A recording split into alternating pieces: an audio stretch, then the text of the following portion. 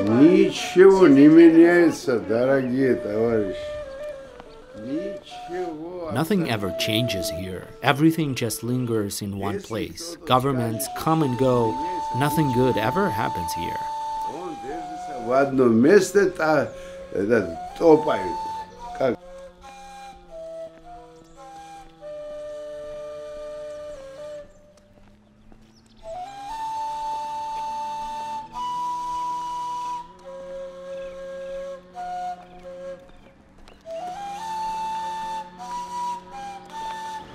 Life on the demarcation line in the frozen conflict zone. It's not the same as life on the border. It's not the same as life at war. On one side here. On one side, there are people who have stayed in the occupied and recognized territory, and on the other, there are displaced people who, for decades now, have wandered from home to home and dreamt of returning home one day. Even if their home has long been destroyed by war, we spent four days on the demarcation line between Abkhazia and the other parts of Georgia. The conflict was frozen almost a quarter of the century ago. In fact, Russia controls all of separatist Abkhazia. So, what are the repercussions of this conflict today?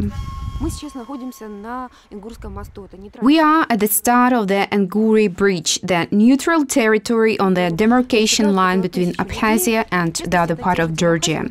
This is the only place where you can cross the border. Every day around 1,000 people cross from one side to the other. They travel to the market at Zugdidi. Children who live in Abkhazia and go to school in Georgia also cross here. The crossing process at the checkpoint can take from 15 minutes to one hour. I got through straight away. I rarely go where I've never had any problems.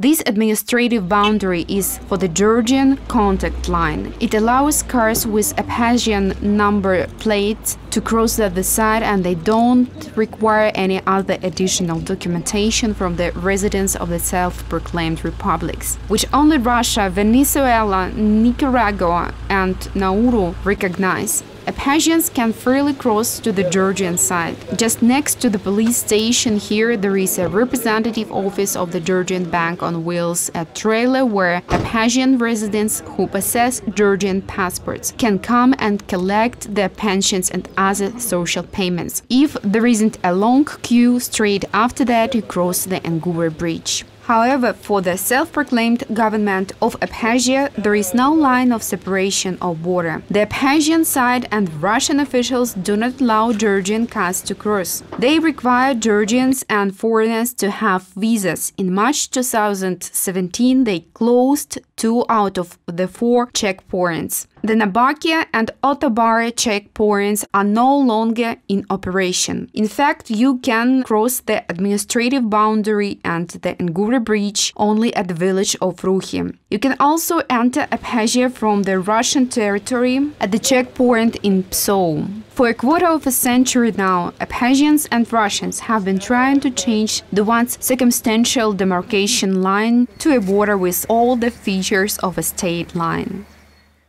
Вот за этим забором уже территория Абхазии. Abkhazia starts at these fans. We are at the village of Hurcha on the administrative border between Abkhazia and the other part of Georgia. During the war in 1991-1992, this village was controlled by Abkhazia. After that, the two sides agreed that the village would become part of Georgia. Until recently, there was a checkpoint here thanks to which the residents of the neighboring Abkhazian village could quickly enter Georgian-controlled territory. However, in 2017, Abkhazia and Georgia decided to close the checkpoint. Now this place is deserted and nothing happens here.